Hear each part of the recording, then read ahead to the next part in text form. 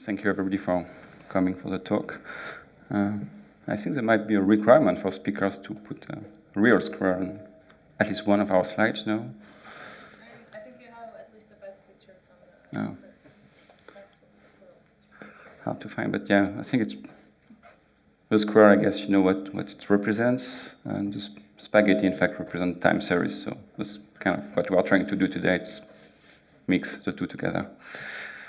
Um, okay. How do I switch?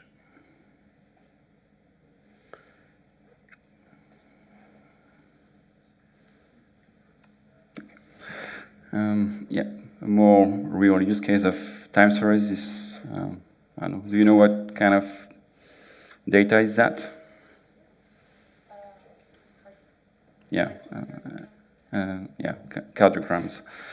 Uh, yeah, so it's one example of what, what time series is. Um, you have different kind of sensors when they plug you. I'm not an expert, so I might and they, I know they are checking probably when when the left ventricle open or stuff like that. And I know they have like, know, like 10 different time series. And yeah, and doctor is looking at it and trying to find if you have a problem or something.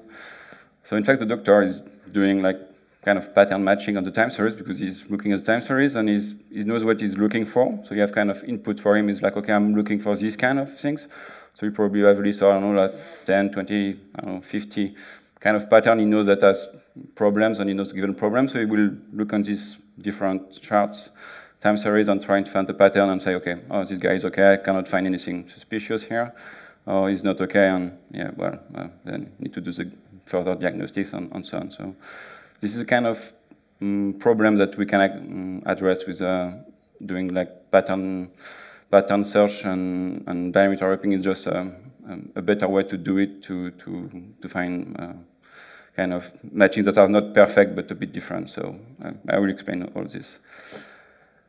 Uh, yeah, so that's the context of the talk today and how to, to try to do it uh, if we need a greater scale, how to do it using Flink. Uh, yeah, so my, my, name is Christophe Salperwyck. So I'm uh, started to work like 10 days ago in Akamai in, in, in Krakow. Uh, so this was done a bit before. Um, so yeah, just a few words about Akamai. Maybe a few of, of you know what they are doing. I didn't know that much before. Um, yeah, it's it's a leader on what we call CDN, so it's like serving uh, content on internet. Uh, so there are different sizes, So may maybe uh, one picture is a bit easier to explain. So uh, basically, you have some servers, some content on some servers, uh, and then you have uh, the whole internet on the globe, and, and you have the end user on the right. Uh, so it's trying to find the best way and more efficient way to move uh, data from the data centers anywhere in the world to close to the user. So like if you have video streaming stuff like that, very important to have good good quality.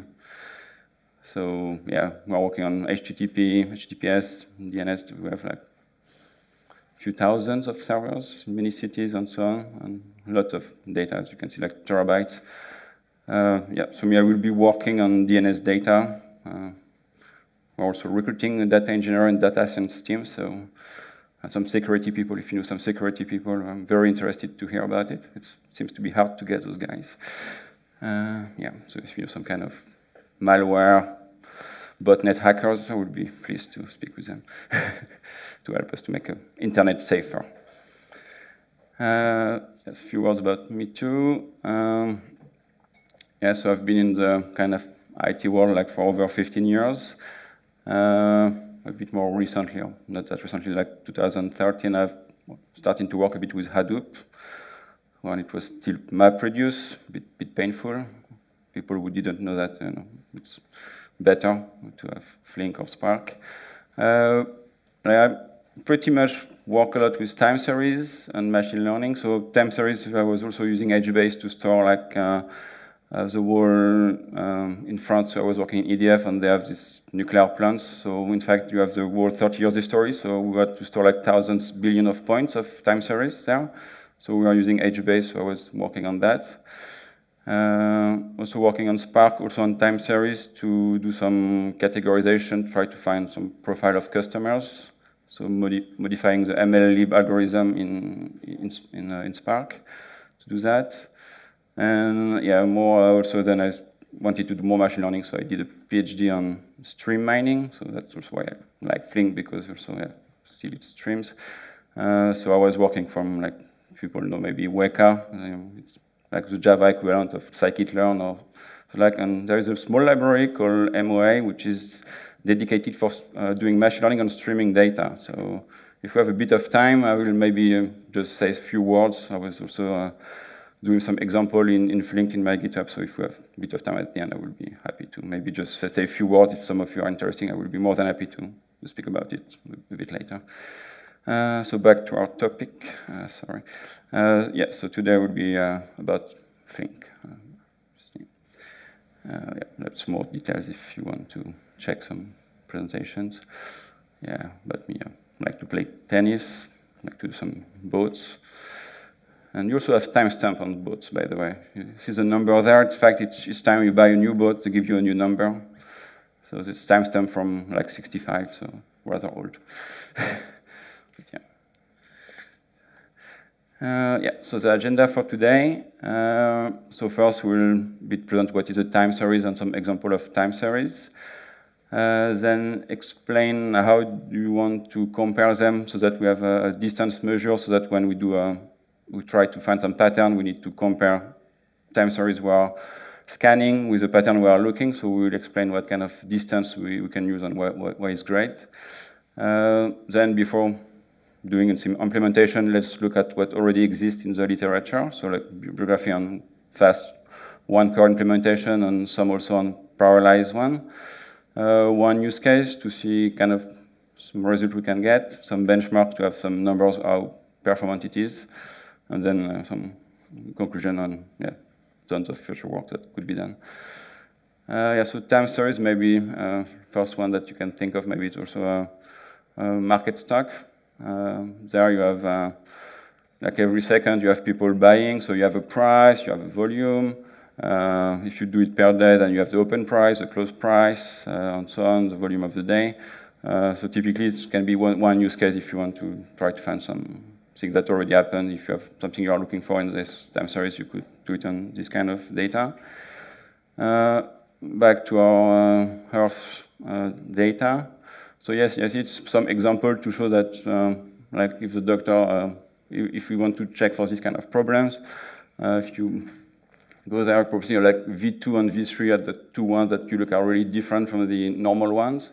Uh, so if you are really looking, you can, okay, if you are looking for this kind of, of pattern for V2, you probably find that you have a problem there. So this could really help doctors to, to spot uh, uh, more on, especially that this, I think the frequency is like between like around 1000 hertz on those data.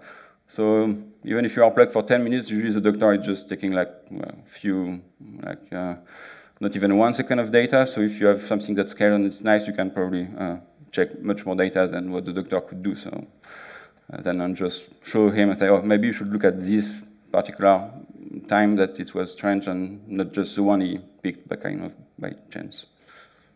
I guess I'm what I've heard. I'm not, uh, maybe they are doing differently, but uh, what, uh, what I heard. Uh, another problem, yeah, I was working in the industry. another problem that you could also, it's here it's pipes, and you can see that it's completely destroyed here. And in fact, when you have pipes, there is some phenomenon called the water hammer. Uh, in fact when you, I think it's, I guess it's the same like in the house, in some old houses. When you open the, uh, the valve, sometimes it makes a lot of noise. And uh, in fact, it's known problem that, uh, in fact, when you open a valve, when you open, you have a lot of pressure going and you have some kind of oscillation. And the oscillation can go pretty strong, and then if it's the way you open it can destroy the pipes. so like power plants, in fact, it's just lot of pipes. So like in EDF, we, this, uh, we are looking at some, some pattern like that to try to find uh, depending on how you open the valve, what kind of, uh, or the other way, how you should open the valve to avoid to have this kind of, uh, of things. So that's more industrial use case. Uh, yeah, from tiny bit more, uh, yeah, some other examples. So yes, I mean, I think the full, we are not missing use cases here to, to, to, to, to do our, our things. So like all the IoT, IoT data usually are, can be as time series, sales marketing data as well. Um, all your monitoring data also can be seen as, as time series. Uh, on the sound machine, we see the uh, ECG, but you also EEG, earthquakes. Uh, DNA wouldn't look like a time series at first glance, but in fact, um, we don't really care about the time. It just needs to be a sequence that is ordered. So um, DNA can be considered also as a, a use case here. And yeah, social network. Uh, we had also the presentation of Uber when they were having this accelerator, so it would be also one, one use case here. You could use this kind of data would, would work perfectly to try to find when there is a big acceleration and then a stop. So you could say, okay, I want to find this kind of patterns. One big spike, then flat because the car stopped. So it would be a very good use case. Yeah. Um, yeah, so check Wikipedia, just a series of points indexed in time order. So in Flink Word, it's rather simple. It's just tuple three of, you have an ID of the sensors of the series, a timestamp and, and a value one. You just need that. So really lightweight, so it's great to have good performances. Uh, so yeah, time series is uh, like in the data science, data scientist work, usually like you consider like 80% of the work is like data cleaning. I think if you work with time series, probably even worse because it's really a lot of things that could happen. Uh, you have some, you can have some outliers. Uh, you can have some periods where I don't know your sensor was uh, uh not working or the network was low quality, so data was not sent. So you need then to find the way to fill gaps. Either you discard the whole uh, uh, the whole service that was invaded. Either you try to fill gaps with different methods. you also have seasonality, like for sales. You have, if in Europe, for example, if you arrive before Christmas, you have a big peak. Maybe customers are still the same, but if you look at the, at the time series, it really looks like it's going up, but maybe the pattern is the same inside, so you have to remove it. Uh, sometimes you don't need that much data, like for the electrocardiogram, you can probably sometimes just subsample the data, so then it's faster. Also in industry, sometimes then starting the Fourier transform to transform from uh, the energy uh, of the time series. Anyway, a ton of stuff here. Uh, but yeah, I will not speak about that. It's all pre-processing you could do before using the dynamic warping algorithm later. But yeah, keep in mind that you cannot usually you cannot plug it straight away like that in, in the time series.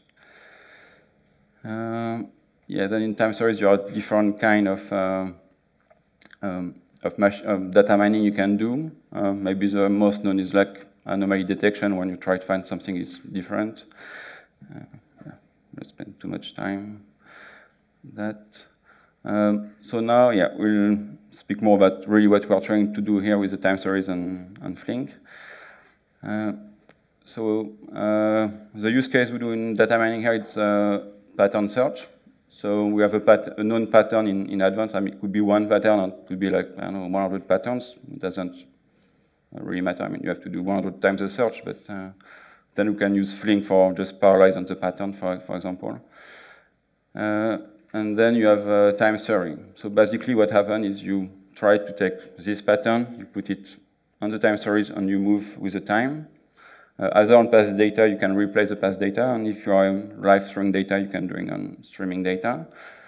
Uh, and then you try to find the best match. So usually, the first data you see will be the best match because you didn't see anything before. So if you are trying to find the best match, the first, at the beginning, you have lots of matches because you didn't see that many different things. So you say, okay, anyway, my distance is pretty big, but still it's a match because I have nothing better than this one. So it's important, I mean, more like for performance later to, to, to understand that uh, you have much more matches at the beginning because you didn't see that many data, so you don't really know how your data look like. then later on, because you already find like best matches, so you can say, okay, if I have things really different before, I don't really have to scan them to I, I, just try to find the one which has, seems to be closest, and then you can do great optimization. So that's why I a bit insist here, because then it's uh, the algorithm later will be fast because of this, because it's the stream can be long, and you can you, you know what you are looking for, so you can discard a lot of computations. Um, So if you have to do a pattern search, uh, kind of you know the easy way, and if you have like just few hours, you probably what you will do is you will take the pattern, the time series. So here, uh, I don't know which one is. It doesn't matter. I mean, that says in in red is uh, it is uh, the pattern or the we call it the query that you are searching for, and in blue uh, it's time series. So you can just uh, compute the distance between the two and do the sum of the distance, and yeah, it gives you a, a distance. And you continue on the, you move a bit the data, you redo it, uh, and so on, and then you try to find find the best one. Uh, but here, you, the distance will be rather big. But even if you if you look at the data, they really look very similar because they are tiny bit disaligned here and here. So in fact, if you could, you know, try to compress at some part and extend at some other part, you will probably manage to put the peaks together, and the distance will be much, much smaller. So that's why they call the dynamic time warping, because they are doing this. They are, in fact, not comparing uh, timestamp aligned per timestamp, but they are, uh, can try to disalign a bit, either compressing or expanding uh, the, the pattern so that it's try to find a be better match. So it's, I don't know, like maybe 20, 30 year old algorithm. There's nothing new here. But usually it's considered in the literature as kind of the best way to find, do, uh, uh, to find uh, patterns in time series. It's kind of considered as a, one of the best way to, to do it. Uh, the problem is that the algorithm is, um, so you have this uh, distortion, so it's called the R parameter, how much you, you're allowed to disalign uh, the time series to, to do the comparison. Uh, yeah, so C is the time series that is streaming, Q the query or uh, the, um, the, um, what you are looking for. And the algorithm is like you are um, trying, you can move from R steps between aligning, so you are trying different uh, ways. So here you are probably shrinking the time. At the end, you are expanding the time. Uh, so if you look at this, we are like, okay, but now my complexity that was looking like just linear before because I was just comparing point to point. Now you have like a two-dimensional uh, uh, uh, table, so it's more likely to be you know quadratic now, so it will scale much much uh, much much less. Uh, yeah, but yeah, that's kind of distance on what we are trying to do because we want to have a good algorithm that can find uh, the pattern we, we want. So. So yeah, if you look in the literature, you have uh, one very nice paper two, from 2012. It was even the best uh, KDD paper this year, uh, which is yeah, it's it's kind of strange paper for KDD because it's an engineering paper. It's not really a research paper. And, and what's pretty nice here is they don't propose really a new method, but they're just taking like four or five methods from other paper and put them together and say, okay, but uh, you know, people are complaining. Like we were taking some quote like you know that uh, some people were doing gesture recognition and it took over two hours to, to run their algorithm and check things, and with their implementation, it takes less than three seconds. So in fact, they say, why trying to find some other techniques if we can just make this one faster because people say it's kind of the best way to do the comparison. So they, they propose this uh, library and they also open source the code. Uh, so it's it's a really uh, standalone like C C code, no imports. So really nice to to to port to Java. So I just port this one to Java. In fact, later on, um, well, I was a bit more lazy because I mean they implement the deque, but I reuse the deque from the Java library. Uh, but yeah, there are really, you know, it's really no dependencies, so it's pretty, you can probably port it in any language pretty, pretty easily. And here you can see the performances. So it's both here at the time it takes, uh, the length, because length is kind of a strong factor of computation time. And you can see you have many order of magnitude between the na na naive implementation and their implementation, which is in, in green. So, so that is what we'll try to, to reuse in, in here. Um, So why is it so fast? In fact, it's because they managed to compute what they called a, a lower bound. So in fact, once you started to find some patterns, uh, you you kind of know uh, how your pattern look like. So you you can say, okay, if I start to compute uh, the distance, if you can have some threshold, like they call the upper bound in U, that if it's, uh, if I do the, without going through the whole, uh, you know, the whole matrix of possible paths, you can just use uh, like the Euclidean distance of the direct one. And if this one is already bigger than the best thing I found, I can just stop computing. It will give you like, I don't know, the best distance was like three between the time series and the, the pattern. And, and then it will tell you, okay, how is this, I, I, can, I can say without computing everything that anyway, the best I will do will be four. Maybe it will be like five or six, but you can already say that anyway, there is no way I can do better than four. So you can stop computing because it will not be better than what you already have found. So there was a lot of this kind of technique they were using. And in fact, it was just a screenshot from, from the, their publication. So here you have uh, the um, complexity of the algorithm. And here you have what they call the tightness of the lower bound. So it's uh, how how the, um, like, what the computation I will have will be close to the real value. So the perfect one is one, and it's a full calculation of the time warping, which is uh, in complexity O and R. And you have some, some of them which are almost o, O1. So in fact, you can usually like 80 or 90% of the computation can be removed by this one. Then this one with almost uh, remove all the computation, and you will compute very, very few full uh, dynamic time warping using, using these techniques. So it's pretty nice. They didn't take all these lower bounds, they just take three or four of them. They take this one here because it's obvious, and they took one, uh, one here, and then uh, I think one here, and then the full one. And you can see that it takes best of both worlds. Uh, so.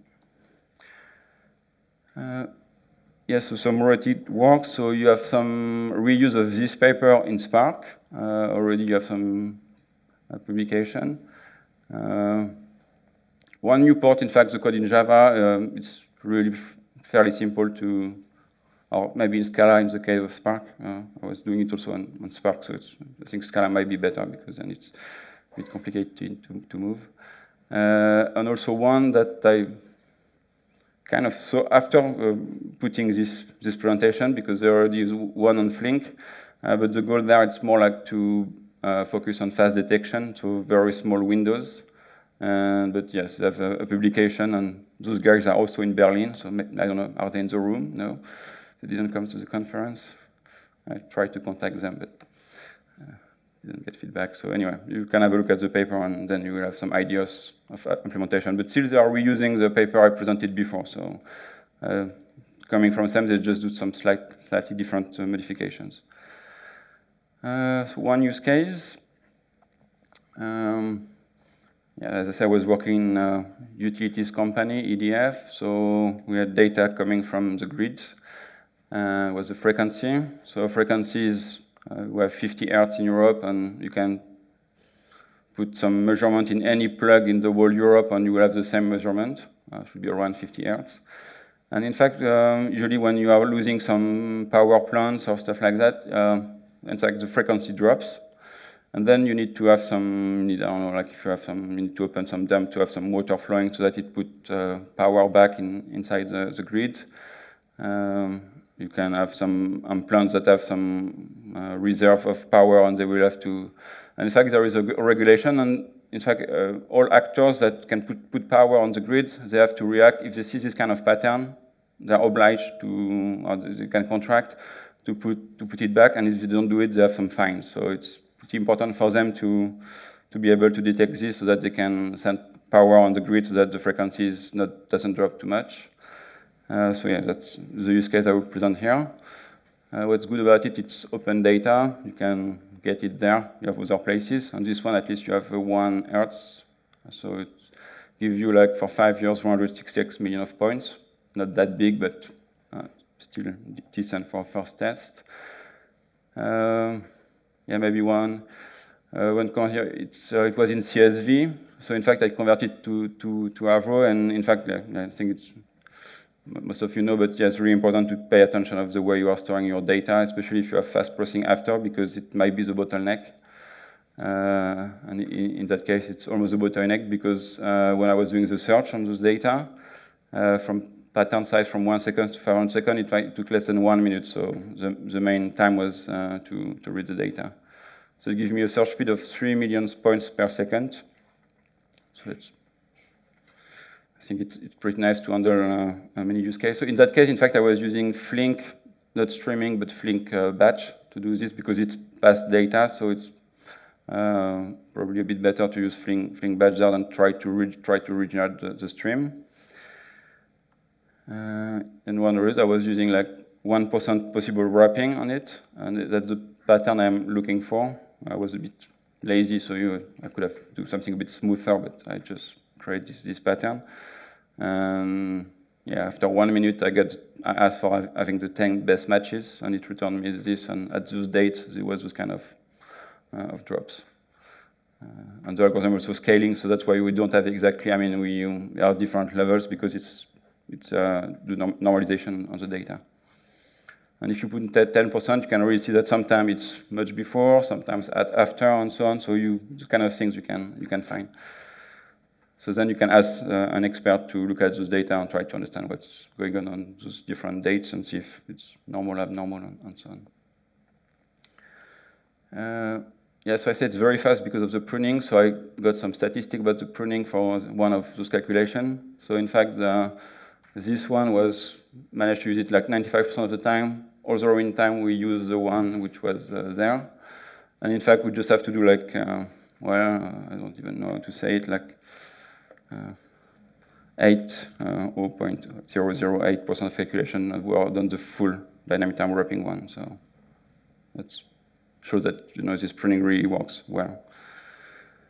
Uh, so in fact, when you are using uh, that in Flink, you have to take care of. Uh, I didn't do the. I didn't implement this, but uh, you have to take care because in fact, when you are in the you know, in in kind of non-streaming world, uh, like in the case you are using Flink batch, you consider that all data, there is no order in the data. You can either start with the, uh, the latest data or the most recent, uh, the, and the oldest data. And you know, the kind of big data paradigm is that you can process all, you, like the map, map doesn't care about the order of the data. So in fact, what happened is here, if we, when you change of uh, partition, I mean, you already have no control of partition. Imagine you have four years of data. Each year is one partition. Flink might start to read uh, data from 2018 and then 2015 and then 2017 and so on. So in fact, when you change of partition, uh, you move from uh, the year, for example, 2018, 2016. Uh, during this, this shift, the algorithm will consider this continuation of data. So you will have to, uh, in fact, you have to, to stop uh, the code and say, okay, this is a change, it's a new partition, you need to restart the search and not consider that it's uh, continuous data. So you have to take care of this. And then if you do that, still you will lose some because you, you will have uh, to try to find the end data of 2016 to put it with the beginning of 2017 because there could be a match just in the change of year. So you could miss this match. So in fact, you, you also have to take care of that.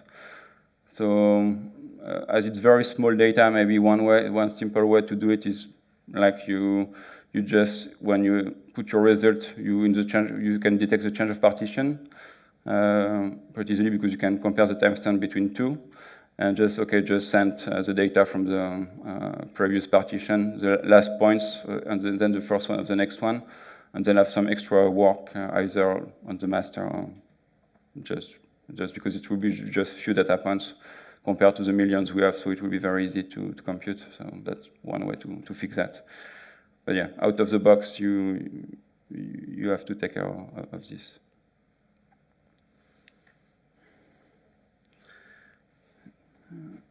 Now we'll also did an implementation in, in streaming. Uh, I didn't have that much time to try to do them on a real cluster, uh, but still I, I managed thanks to there is a Flink uh, for Kubernetes. I thought, okay, but those stuff doesn't work out of the box usually, and then you have to, it's, it's pain to use, but well, I guess in one hour I managed to have some job running in, in, in Kubernetes. And I joined the company 10 days ago, and I managed to have an Azure access and some resource group, and I could spin up like uh, a cluster so I could do some first tests. Not fully happy, we, are, I will have to do more, but still it will give you some first insight. So I just ran off my laptop, Uh, just put one thread to be sure that, well, when you start to put too many threads, you don't know what happens, so you don't know what you measure, and I don't really like it. Uh, so I was doing here to a bit easier to have more data, streaming data generator. Uh, it's also kind of standard in the literature to use what they call random walk. So in fact, you have it go up, down, slowly, and so on. So you have some. It's random, but you know it's really look like a time series. Um, which is now generator, I can have like 20 million uh, record seconds if I use it standalone, and I, when I put it in Flink, uh, I still have, I mean, Flink streaming, I still have between two or three million of points per second per, per thread, so uh, pretty nice given the algorithm will almost manage to catch up with that. Uh, yeah, so when I, I, run it, so I tried on two kind of uh, jumping windows, uh, so one of 10,000 points and the other one of 1 million points. Uh, so um, I try for different pattern size and different uh, time warping uh, compression expansion with parameter like 20%. in blue, so it's most expensive and so on.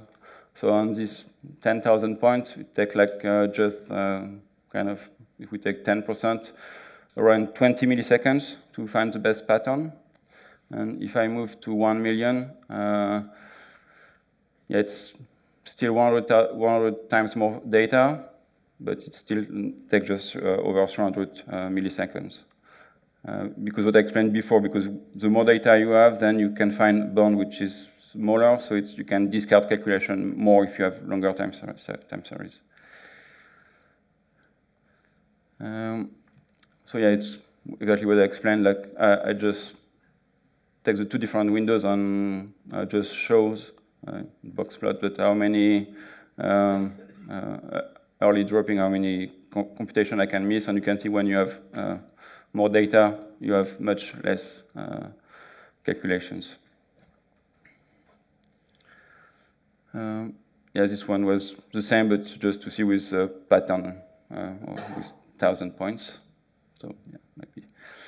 Uh, so the issues with um, uh, with the Flink streaming, uh, well, I was using jumping windows. Uh, so jumping windows, in fact, we have the same problem as we had before with partition because just when you jump, you are this point of jumping where you are you should keep the data from the last latest data from the previous window and so on.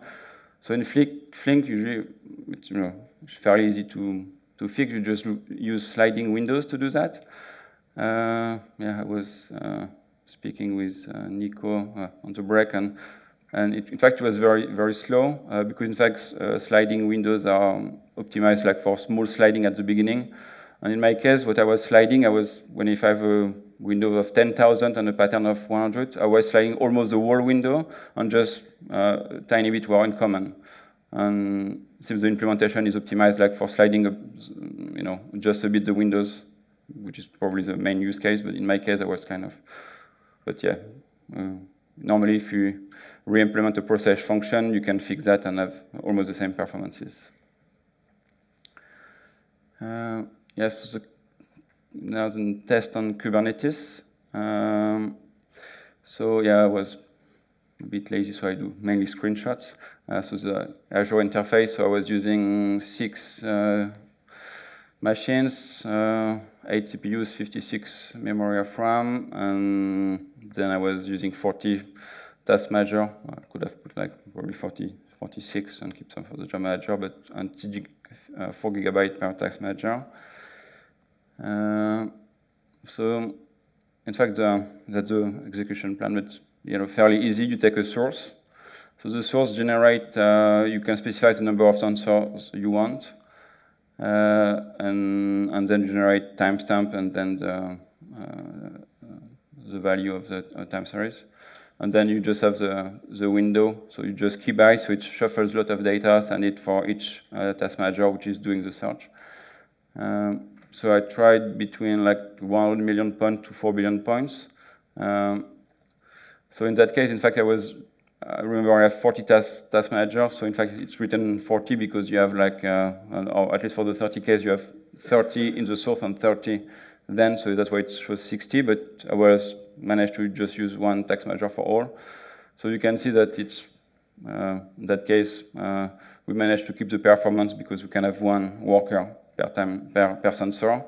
So we managed to, uh, to, to have good performances. Yeah, don't have that much time maybe to go into details, but seems to work well. I tried to do more, and then I think it's where you need to do some tuning because it was starting to crash. So uh, when you put much more and, so on, you probably need to think uh, uh, a bit more through how you do it. Uh, because you know, as we can see, it's very CPU intensive and also very network intensive, which is because the algorithm is fast, so it's getting generating data and throwing that through the uh, hashing them and in the keybind and so on. So it's a lot of traffic uh, as well. So yeah, here we can see it was when we have uh, 80 workers, 30 work, 40 workers, 30 workers, and then it, it goes down. so um, conclusion, um, what is uh, really nice here, in fact, is we managed to take the original algorithm without modifying that much, apart porting it from Java, and it really works fast. Uh, so then the big advantage is you don't have, because at first I was thinking maybe I will have to try to do the parallelization in Flink itself, so it will be like, you know, trying to see how I can parallelize the work and so on. Uh, I mean, that would be maybe uh, a bit more, fun, but uh, when you can use something out of the box without doing something too complicated, at least it's very easy to, to use out of the box and you can take directly advantage of it in, in Flink. Uh, you can use it on massive, massive pass data very efficiently, as we saw. Like we're just taking less than one minute on one thread to to to run on these uh, frequency data points. And uh, yeah, the, on streaming data, uh, you might need some tweaking if you have very small windows, uh, but then you can refer to the uh, paper I mentioned at the beginning to see how they, they did it, and so on to even have better performance. Uh, and so on. So yeah, see. future works. Um, yeah, beginning of a list, but you have yeah, plenty of idea. Uh, you can also maybe, if you are in a dynamic environment, like I don't know, like what uh, uh, Criteo was saying, for example, or like fraud is changing all the time. Uh, so you might want to update your pattern, so you could have a stream of patterns and then update your, your pattern, so it's very easy to, to, use, to do with Flink. Uh, and also you can use Flink for the, all the pre-processing. Like what I said, you know, you can remove values, uh, outliers and so on, uh, maybe do even some CEP uh, with Flink even before considering the data. Uh, more tests on Kubernetes, and yeah, I will, this one I will, given the remaining time, I will not go, go into detail, but maybe an optimization to use a fold function instead of the process one from the streaming API. Uh, yeah, so uh, thank you all for your, your attention, and yeah, I will be if you have any questions, I will be happy to answer them.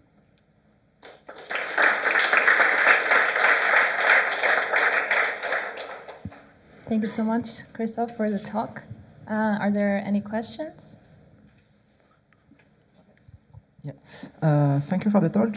I wanted to know how do you define the pattern, uh, what it looks like?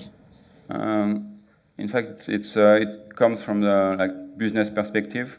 Uh, like for the frequencies, they say, okay, regulation told us if we have um, flat frequency, drop of 50 millihertz, and then flat again. That's what we are looking for. Uh, the same for uh, cardiogram. You doctors know uh, what kind of what, what, they are looking for. And as you are using dynamic warping, then it's pretty okay to be not very precise because in fact it will manage to adapt a bit to even if it's not fully precise, you find find it. So maybe even the doctor later can have, um, ask for 100 matches, look how it looks and say, okay, this, maybe this one is a bit better than the one I, I enter. So, but yeah, it's, uh, it's a business requirement to, to have the pattern.